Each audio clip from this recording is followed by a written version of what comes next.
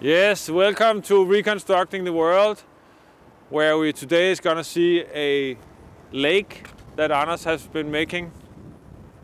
It's not a very beautiful lake. No, I'm kidding, Anders. This is not this is not something Anders did. Today we're gonna look at that building there. Yes, very young, as usual. Anders, Yes, sir. This is Resource Rows. Yes. But this is actually one of the buildings where I met you. Yes. This is very fantastic. Um, as usual, Anders has made something fantastic. This is, if you look around, maybe the camera can pan around, you can see all these kind of buildings where, uh, you know, this is very standard new Buildings. Yeah, like this is like a new town that's being established. Everything looks Ørestaden. yeah, Ørestad. It looks pretty much the same. It's like various shapes of blocks. Yeah. Uh, and then you got this assignment, right? Yes. And this this was actually this is uh, some years ago. It's uh, it eight year eight years ago. Yeah. And um, and as you can see, like everything is these standard blocks of buildings. Yeah. And uh, and here again, we also had a very defined uh, kind of site that we couldn't change too much. But what we wanted to change was the fact that why couldn't we build these blocks out of waste resources? Why Yeah. couldn't we? Why couldn't we again show that when people move here to Ørestaden, they usually come from outside of the city and moving to Copenhagen, Yeah. and then this is kind of a, a new suburb somehow. And uh, when you And- move, and- when and you you- move yeah. from the city, you take your dogs, you take your furniture, to take even your kids, bring them in, move them in with you, but you leave the buildings. Yeah. And uh, so the idea here was, what if we could build a new building out of old buildings that we harvested around Denmark and collected them, moved them in, and would build with them here. And that's why all these bricks that you see, they are different Yeah. uh, kind of uh, uh, resources, different kind of buildings that we harvested these materials from. Yeah. And the wild thing is, you can actually see. Yes, but if you shoot up here, you can actually see. This is like looking at a a small city somewhere. And the, the reason why we did it with these types of bricks is Yeah. because in the mid 60s, something changed for, Yeah. for the brick world. Over here, right? And that is that uh, the mortar went from being, um, you can say, uh, more uh, um, natural based materials or, or without cement Yeah, yeah, yeah. Uh, to a mortar that's cement based. Is this and that was cement-based because, here? yes, This, all so the, this all is this. very concrete. Yeah, all so of it. All of this, all of this is uh, cement based. All this so you can't you can't separate the bricks, Ah. and that was the problem because we've been able to recycle bricks for three, four hundred years, uh, as the monks has done it, and we've done it for so many years, and then all of a sudden it stops because we have to make a more efficient building industry, Did you say, as the monks did it? as the monks did it. Because what you're very high on monks. I love monks, Monks. not monkeys, monks, Buddhist monks, monks, Christian Why did this is a whole nother story? We need to make an episode why monks are suddenly tearing down houses and building them again. It's like, yeah. But this is this is Anders. We have to go back to the monks. No, no, this no, we definitely don't have to. But look at this thing here. Like there's a small something from the old days. So what did you do? You you just went out and just cut buildings into pieces or what? In theory, yes. So what we did was actually for the first sketch proposal for our client, we uh, we, we heard about this thing that that you couldn't disassemble a brick building. You could only crush it. So the idea was, you know, what could we do? So we made a test with a neighbor building to our office Yeah. that was going to be demolished. Yeah. So we asked them, can we try and cut it out? And then we had a uh, kind of a diamond cutter. I would love to saw. hear that call. Do you have? Do you have? Did you record that call, or could we reconstruct that call? Okay, recon- Let's try and reconstruct that Yeah, call. okay, let's so do that. I'm I'm the owner of that building. Yeah, So I'm over here, you're over here. and then you calling me. And it's a, it's an old phone. Yeah, yeah. It's eight really years old ago, phone. eight years ago, nobody had mobile phones. No, it was a. So, Okay, so you're calling. Operator, please put me through to uh, to the owner of this building. Yeah. Yes, hello. This is Anders Linde. I'm an architect. Uh, I have an idea. Could you let me cut your building into pieces with a mechanical saw? Are you one of those elitists that is trying to take over society and make every fu- fucking thing elitist and then trying and then you come here and trying to cut up my building, you elitist the architect that only you know I make America great again. Bye. Did you did you hang up? Yeah. Okay, so we decided to do it anyways. So we went over there, and then we That's very started elitist. cutting. That's actually the- very elitist. Yeah, it is, and uh, and also a little bit illegal. So we started cutting up uh, this building, and um, it only took one minute and forty uh, seconds to cut up a square meter. Like one of these. One of these, So this And- is a square meter, right? yes, and we could see that if it really was that quick to create one square meter of brick, I mean, it would be impossible to find anyone who could kind of lay the bricks that quick. So we thought this is a this is a business model maybe. This is a way to design. So we presented that to our client instead of a sketch, and he said this is a really insane idea. Okay. Um, let's try and go a little bit And further then, and then you said, and Monks is gonna build it. and monks. And that's what you said. That's not insane because they have been doing this for 200 years. That's a good idea. Let's do it. Yeah, it's only the strongest monks because they were like two or three hundred kilos heavy. But uh, Okay. so so I need, I, before yeah, you go yeah, further, yeah. I need to ask you something. I know it's a detour, yeah, but there must be a story about the like. There's one of these here, then there's one there, yeah, and then there's one over there, and actually I see two, three up here. yeah. What, do you know what it is? Do you have Um, total? Do you have total overview I- of the whole building? I don't know all the stones. I Okay. know that we have in here. We also have uh, filler stones, and Ah. filler stones is stones that. Uh, yeah, it, it tells its its own story. That it's a it's a stone where there was a hole where Yeah. we needed to do a, a detailing.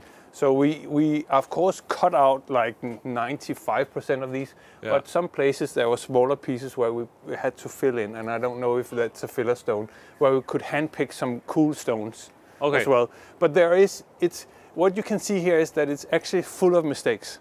Yeah. So one thing That's what you love in a building. patina, storytelling, and so on. So the the brown ones is actually from a brewery in Carlsberg. Brewery. Brewery in Carlsberg. So This how one- old are these? These are from I think 60s or something like that. Um, but the stone is actually really nice. It's a um, it's uh, not a machine stone. It's actually also really beautiful. Yeah. But uh, this was from Carlsberg cut out. Yeah. Uh, the yellow ones are, as I remember it, um, from building in Aalborg, uh, an engineer school that was uh, demolished, and the red ones comes from a, uh, uh, primary school in uh, in Aarhus. So, so this was a collection of materials from different places in Denmark, and the point here is that when you find a building Yeah. you can start harvesting and putting them aside. And then we assembled them to these building elements. Yeah. Um, and we have two building elements Yeah. uh, typologies here. Um, but the idea was to begin with Yeah. that we wanted to build with them just like a normal brick building with a facade where you, you see them as uh, if, if a brick is a Lego, then you have br- brio, is that what it's called? Like Yeah. big blocks. And, um, and here we were building with big blocks on top of each other, as you can see here. So the, so the new kind of um, seam um, would be here between these. Yeah, these broad ones, Yeah. right? And, and we also found out that because this is stable, Yeah. as a block. Yeah. You could turn them around. You could push, them in Yeah, and out quite easily. Whereas this has given us a way more complex facade. It's And, really and, and, and you can really feel. I don't know if you if it translates to the camera, but but you can really feel a huge difference of history and time. Yeah. No bullshit. Uh, this is normally people are like, yeah, this because you know Yeah, it's yeah. a fine wine. You can taste all the things. This is fine bricks. You can taste all the things, right? But you can actually feel and also with the wood that is a little worn down. I think also Yeah. maybe a story there, but you can actually feel, and also with the the pushing in and out Yeah. in the difference, you can actually feel that this is Yeah. much more alive than other buildings that we compare with uh, around here, right? And you're totally right. We actually called it the square meter uh, building in uh, in the office because the design of the building started with this square meter, and then uh, when we were designing the building, we could see that if we made, you can say like here, Yeah. uh, a, a block element that is three by three meters approximately, Yeah. we would have like a larger block. And when we put this in, and then we have the next block and the next block, so it's kind of this checker mark design, Yeah. but it's actually designed or, or the concept comes from this one square meter. So, so can I ask? So one block being installed here is Yeah. all the way from here to here Yes. and up there. So it's Yes. like a huge block. It's, Yeah, it's not each, each block is not put in this this. It's like a No. one big block. Yeah. Right? Look at this life here, right? Look at the thing here Yeah. That's it. over here, and then look at the life on this side. Yeah. It's actually it, it is actually a, a it's both a visual visual, but it's also very very tangible Yeah. uh, feeling. Yeah. You can really feel this building. Yeah. It's uh, the materia- materiality and the Yeah. tectonic, you can say here, really plays out and creates both narratives, but it also plays with the uh, with the light Yeah. all the time and the Yeah, colors. And uh, now this building is uh, it has some years uh, on it, and it and it looks, in my opinion, really really good. Also in summer, Yeah. we have a lot of green, Yeah, yeah, yeah. kind of uh, um, kind of starting to grow on the facade as well. Yeah. And the interesting part here is, and it's not to uh, to shame on the other buildings. But here, let's do that But anyway. that's uh, that's done at the same time, same economy, the same kind of main framework for it. And and here we've been experimenting with uh, with the materials. Um, and trying to get as much out of it as possible. So what you're saying is like, okay, so is this the same economy as this? Yeah. Okay, so no, I, Oh, let me just finish that and then go back to that. What I wanted to say is that it, it is actually very, very wild that you can, over time, see this building become more li- alive yeah. and cool. And then you go over and see this building, which has this uh, new building decay, Yeah, right? yeah. Whereas from the start, you build in the decay. Yeah. Okay. Yeah. And, and, and I find it extremely tangible. Yeah. And, and, and has and I can you know now we're filming in the worst of times. Yeah. Uh, February, late February, Yeah. start March. Yeah. It's like this is what we call the piece of shit season. Um, Ice in cold. Denmark, it's like ice cold, annoying wind. I have to agree that it's a paradigm shift in how we see mate- materials in architecture. That it's that it starts with a with a with a story and a narrative from where it comes from. Yeah. It tells the story to have whoever is here that something is happening, and that is a totally new way of, of building new buildings with waste and old resources. But one of our challenges here was that as I said, we we we uh, we were forced to put these uh, tile blocks into a concrete element. So for the apartments that you see here, where we have five floors and seven floors in the other end, these are made in a more traditional concrete element factory and delivered. Yeah. Which means that we have concrete in, which was not what we wanted. No, no. And for these, which is the row houses here, um, we were allowed to do it a little bit different. There's still uh, some concrete seven centimeters on the back, so it's it is kind of a, a big element. But then we have a wood build-up in the back, so it's a it's a lighter element here, which was uh, the quickest way to build. Yeah. What we had hoped to do was to eliminate the concrete Yeah. where we have where we actually have have uh, built it up with uh, hempcrete uh, uh, casted in as insulation and also a mock-up here where we see it with uh, recycled wood and uh, and wood insulation. But that was not possible to do in this project. But uh, but to to say okay to build with uh, concrete back wall uh, it made it possible to try and recycle. And we're recycling 12,000 square meters um, uh, building here Yeah. which is uh, quite a lot um, uh, to recycle in a totally different way. It's an innovation that's not been done before we did this. Yeah. And this is and and, and so as you as usual you experiment with this, you experiment with these new materials. Yeah. And so is this a method that could be then uh, copied and done a lot of places?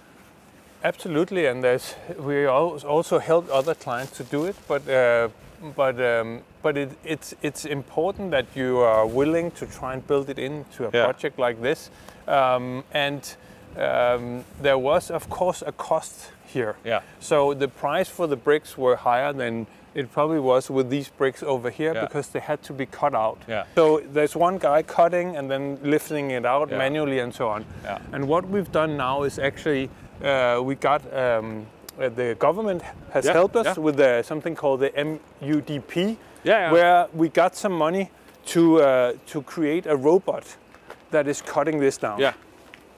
So the robot is a is a way to optimize. So it scans the building, Yeah. and then it uh, goes in. It doesn't look like kind of robot robot. It's, not, like a robot. It's not robot. like a, that kind of cutting. But the cool thing is Yeah. that then it's way more efficient. It's uh, saving a lot of time and economy, and it's making it a lot easier to Yeah. cut down these pieces. And so now we come in here, and this is the the the what do you call it, in in between space. This is the this is the this is the courtyard. and Yeah, What is courtyard. the u- unique thing here is like it's a super narrow space. Yeah. And to create a cool uh, courtyard here, where all the a lot of the plants here are edible, Yeah. can't see that now. No. And then uh, creating uh, kind of these unique, uh, small, tiny um, Yeah. plateaus or gardens that you share here. And you also see the recycled concrete brick up. Uh, this bridge. is cool. And uh, that is actually from uh, a factory here in Amager, Yeah. a Vox factory. Yeah. It's a roof double T deck. Yeah. And uh, the experiment here was, would it be possible to re- direct recycle a concrete Yeah. element? Um, and of course, that saves a whole lot, shitload of CO2. Yeah. But it's also kind of a way of saying maybe if concrete should have a chance of being a meaningful, sustainable Yeah. material, we should direct reuse it. But look at this. Anders, this is great. Yeah, it looks really. It nice, looks right? really fucking good. This is homey feeling. I can imagine here Yeah. it's being super great, right? Yeah. We So can- this is a very, very cool, fantastic thing.